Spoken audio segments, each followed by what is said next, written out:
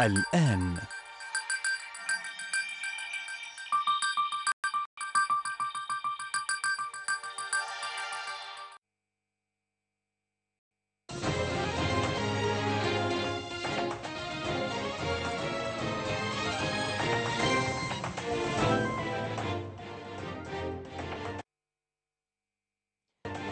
الكرام نشرة إخبارية مفصلة تأتيكم من ميسات أهلا بكم. والبداية مع العناوين. رئيس الوزراء مصطفى مدبولي يتابع موقف الأعمال الجارية بالمتحف المصري.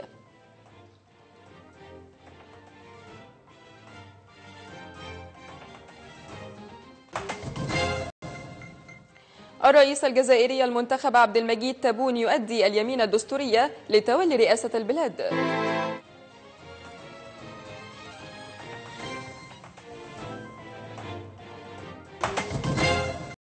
ومجلس النواب الأمريكي يحيل الرئيس دونالد ترامب إلى المحاكمة أمام مجلس الشيوخ.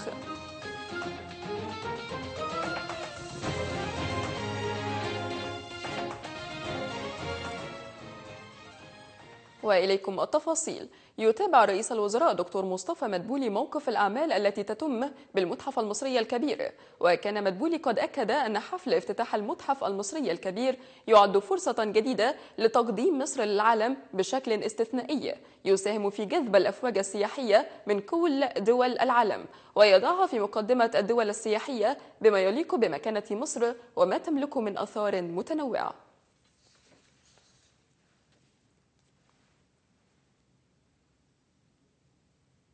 أعلنت وزارة البترول والثروة المعدنية تحقيق كشف بترولي جديد بالصحراء الغربية في منطقة أبو سنان بمعدل 7000 برميل من الزيت الخام يوميا و10 ملايين قدم مكعب غاز يوميا.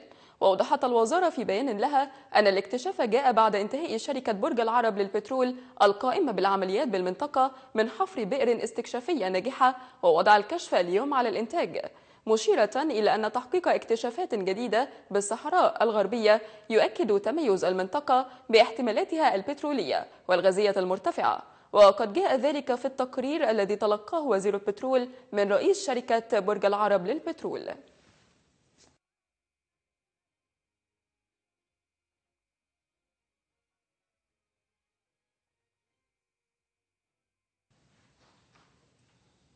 أكد وزير المالية دكتور محمد معيط استمرار حملات مكافحة التهرب الضريبي للتأكد من الالتزام بالتسجيل في ضريبة القيمة المضافة وفقا للقواعد القانونية وتحصيل حق الدولة.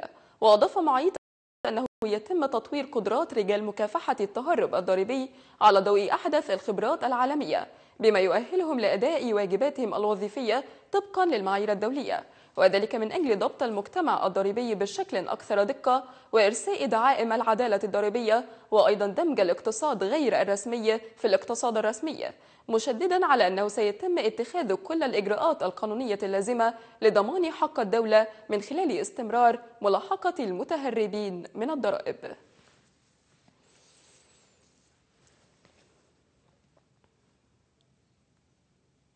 استهلت البورصة المصرية تعاملات جلسة اليوم من نهاية جلسات الأسبوع بارتفاع جماعي لكافة المؤشرات وذلك بعدما أغلقت أمس على ارتفاع أيضا وارتفع المؤشر الرئيسي للبورصة بنسبة فاصل 4% كما صعد مؤشر الأسهم الصغيرة والمتوسطة بنسبة فاصل 6 من المائة في المائة وشملت الارتفاعات أيضا المؤشر المئوي الأوسع نطاقا بنسبة فاصل 11%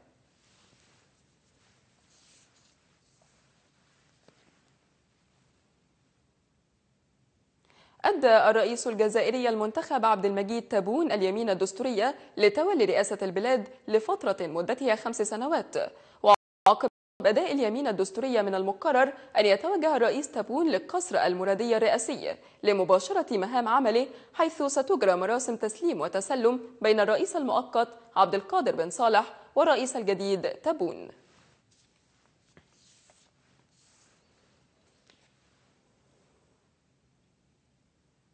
صرح المبعوث الصيني الخاص لسوريا أن الحل السياسي هو السبيل الوحيد للخروج من الأزمة السورية وأنه يتعين على جميع الأطراف توحيد جهودها من أجل هذا الهدف. وأضاف المبعوث الصيني في مؤتمر صحفي بمقر السفارة الصينية لدى موسكو وفقا لوزارة الخارجية الصينية. أضاف أنه يتعين احترام سيادة واستقلال ووحدة أراضي سوريا والتمسك بكل ذلك كما يتعين أن يكون مستقبل سوريا في أيدي الشعب السوري. لافتا إلى تعاون الصين وروسيا منذ اندلاع الأزمة السورية. كما نوه أنه يزور موسكو للمرة الثانية خلال عام لمواصلة المشاورات مع الجانب الروسي.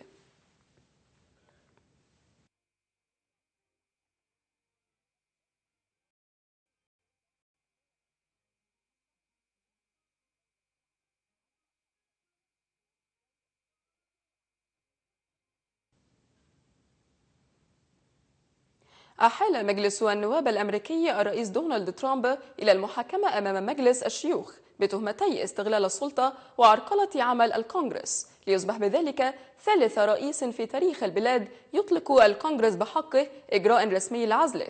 من جانبه أعرب البيت الأبيض عن قناعته أن مجلس الشيوخ الأمريكي سيبرئ الرئيس دونالد ترامب بعد أن وافق مجلس النواب على مساءلته.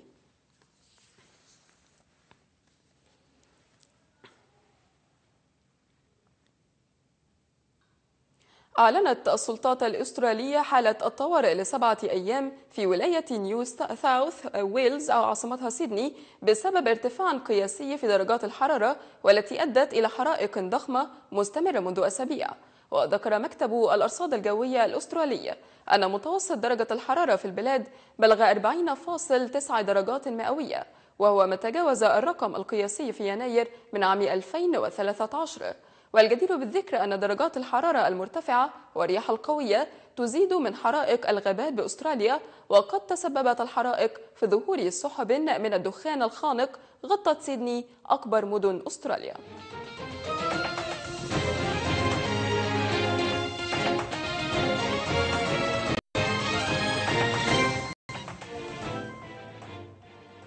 ورياضيا يحل الأهلي ضيفا على فريق الإسماعيلي في السابعة والنصف مساء على ملعب استاد المكسب الأسكندرية. وذلك ضمن منافسات الأسبوع التاسع من الدوري الممتاز لكرة القدم.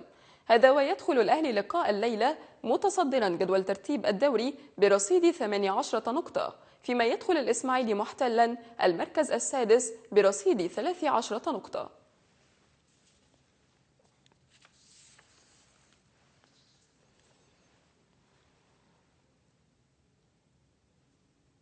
حقق ليفربول المحترف بصفوف المصري محمد صلاح الفوز بهدفين لهدف أمام مونتيري المكسيكي وذلك في المباراة التي جمعتهما بنصف نهائي كأس العالم للأندية بقطر.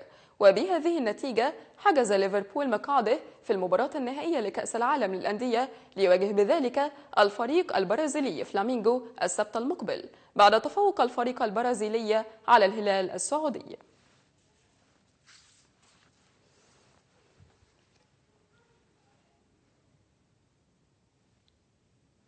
حسم التعادل السلبي مواجهة ريال مدريد وبرشلونة في كلاسيكو الدوري الإسباني والمؤجلة من الجولة العاشرة من عمر منافسات الدوري.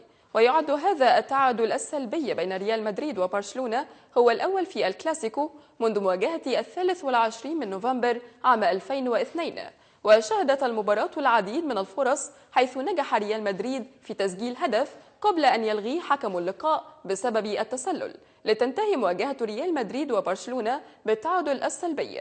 ويظل بذلك برشلونة في صدارة جدول ترتيب الدوري بفارق الأهداف عن ريال مدريد.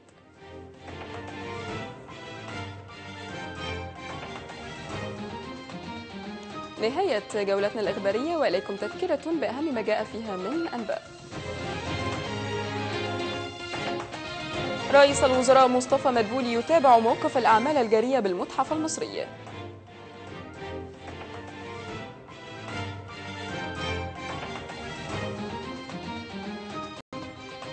الرئيس الجزائري المنتخب عبد المجيد تابون يؤدي اليمين الدستورية لتولي رئاسة البلاد.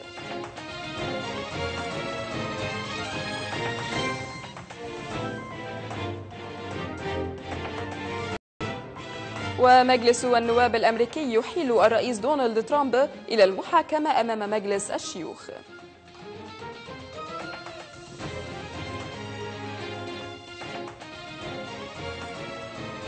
نهاية النشرة نشكركم مشاهدينا الكرام على المتابعة وإلى اللقاء في نشرة جديدة.